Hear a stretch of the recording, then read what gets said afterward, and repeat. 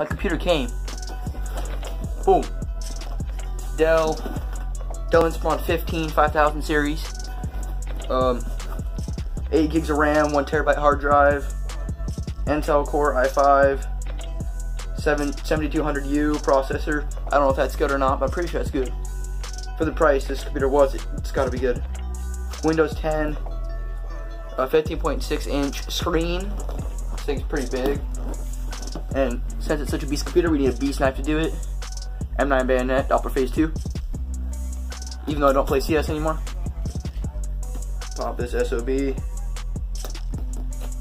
Ooh, ooh. Yeah. Kind of jab at this thing here. People are always asking me why I get a laptop instead of a PC, a desktop.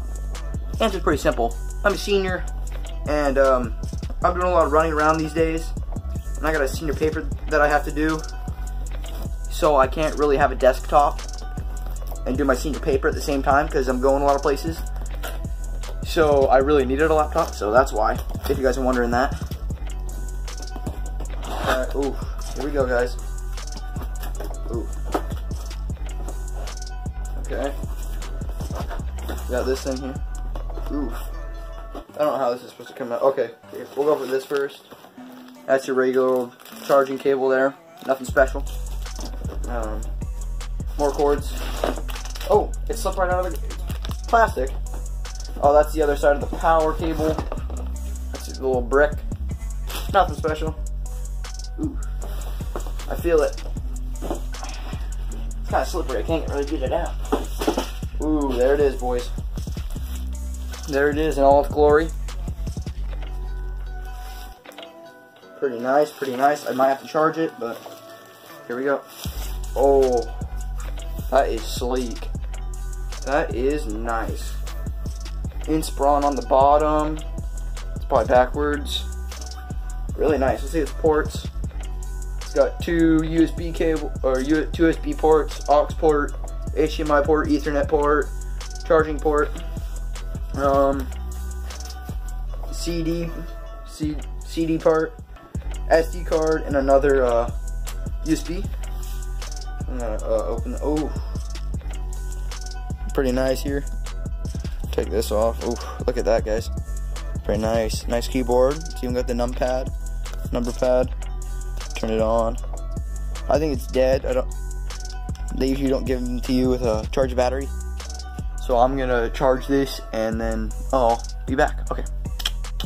Alright guys, so I got her all set up. I had her charging for about eh, maybe 30 minutes. And I turned her on, I left her plugged in.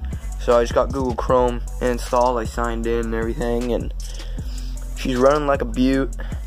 Um, I might download a game and see how she runs with games. I don't plan to play a lot of games on here, but like just in case I want to. I might just see how she runs. But I don't expect her to play games that beautifully because it only has 8 gigs of RAM and only has an i5. So I don't expect it to, you know, be that great. But it's a nice laptop. I think it was about 700 bucks. Uh, that's about all I know, but it's a really good laptop. And I kind of want to check out the camera quality. I'll put a clip of my outro, I mean, do my outro with the webcam, and I'll play that right now. Bam.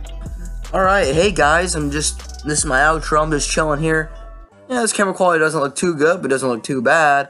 I hope it'll um, look a little different when the video's over and I rewatch over it. So, I'm gonna move the box because I've been leaning on this thing for a while. There's a little couple manuals in there and stuff. So,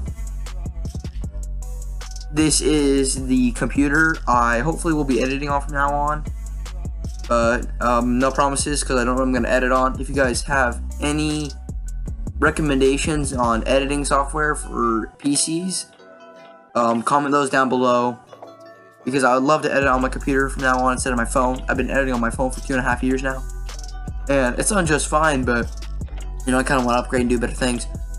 So that's about it, guys. I love you all death. I'm out just like that.